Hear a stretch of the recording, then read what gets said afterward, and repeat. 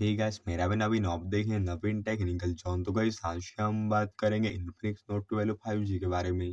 Guys आज का हमारा टॉपिक है how to enable front camera तो गाइस अगर आपके फ़ोन में फ्रंट कैमरा इनेबल नहीं है तो आप अपने फ़ोन में फ्रंट कैमरा को इनेबल करना चाहते तो गाइस यह वीडियो को आखिरी तक देखिए एंड समझिए।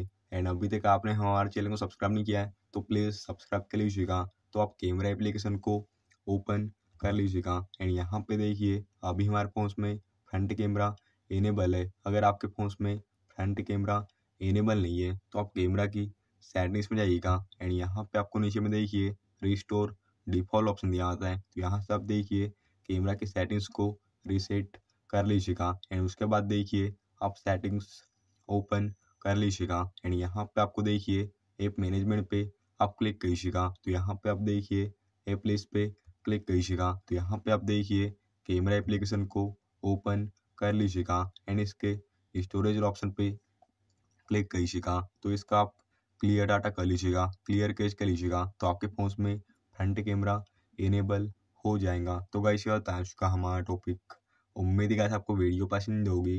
आज के लिए बस इतना ही। Thank you